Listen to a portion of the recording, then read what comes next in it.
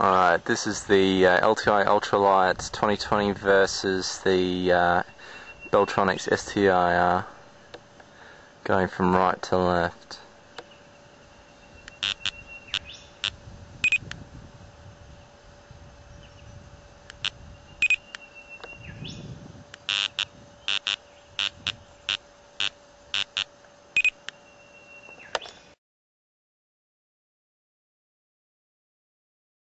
Okay, Beltronics STi-R at uh, 25 metres, going from right to left again.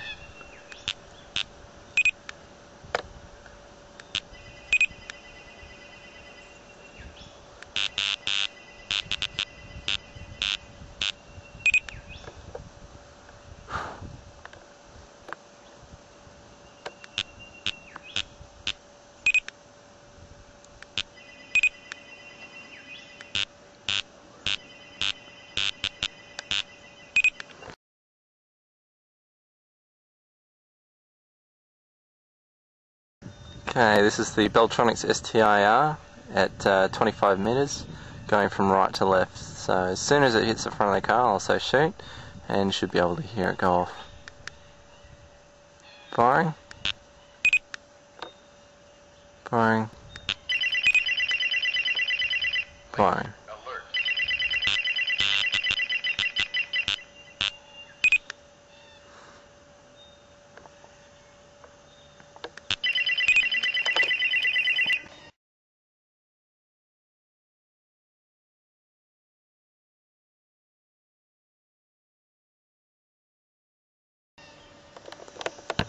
Okay, this is the uh, Beltronics uh, STi-R, uh, just the standard in-car. We're doing it low to start off with, going from right to left.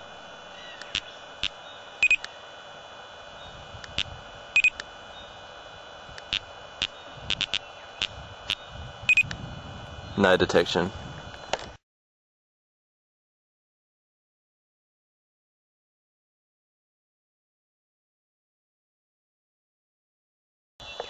Okay, this is the Beltronics STi-R XR Australian version.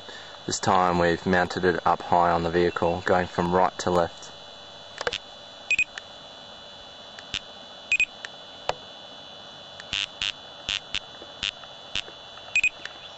No detection at 25 metres.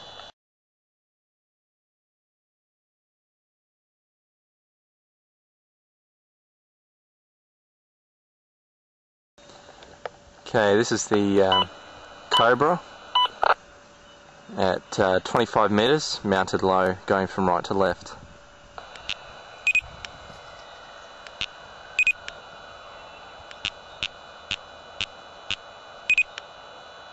No detection.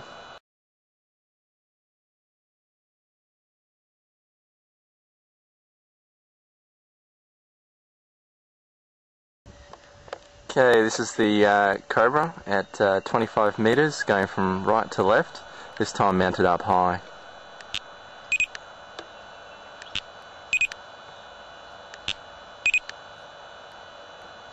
No detection.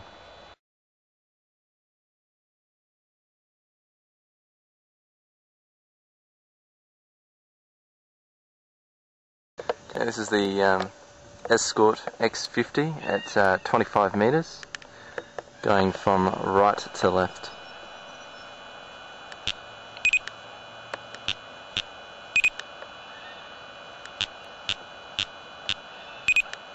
No detection.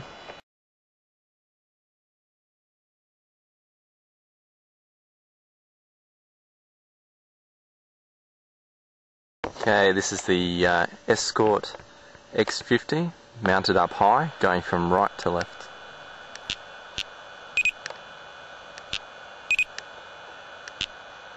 And there's no detection.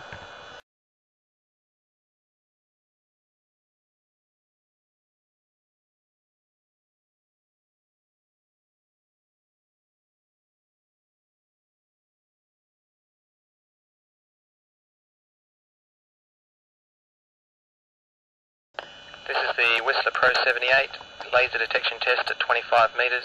The radar detector is positioned low and central in the windscreen and we're firing three shots across the front of the vehicle.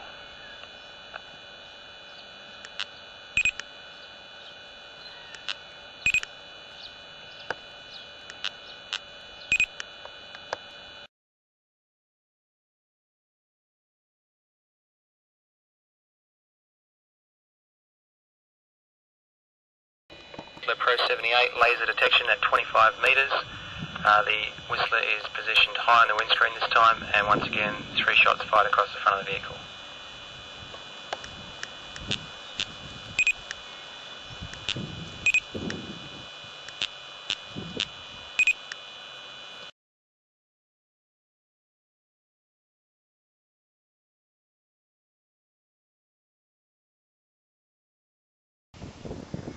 The Whistler XTR 690 laser detection test at 25 metres. The Whistler is positioned low and central on the windscreen, and we're firing three shots across the front of the vehicle.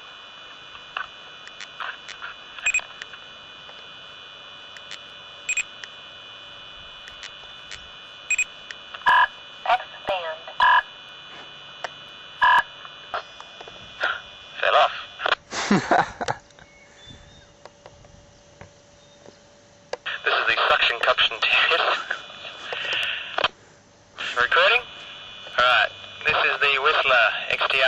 90 laser test at 25 metres range, uh, second go we had some X-band, it could have been from the radio, uh, redoing the test, 25 metres low on the windscreen.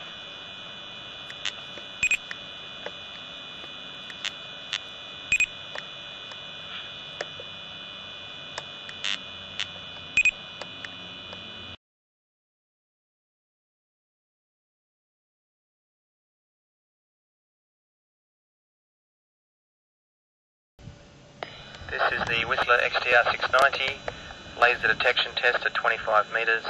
The Whistler is now positioned at the top of the windshield, central, and we're firing three shots across the front of the vehicle.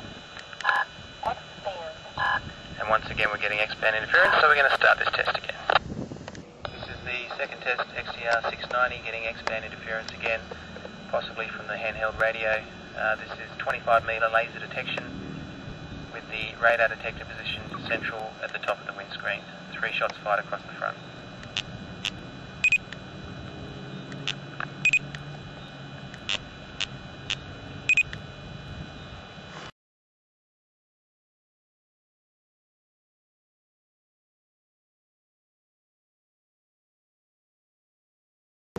This is the laser detection test, 25 metres for the Valentine 1.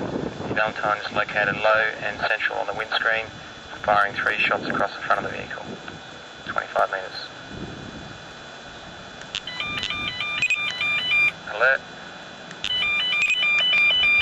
Alert.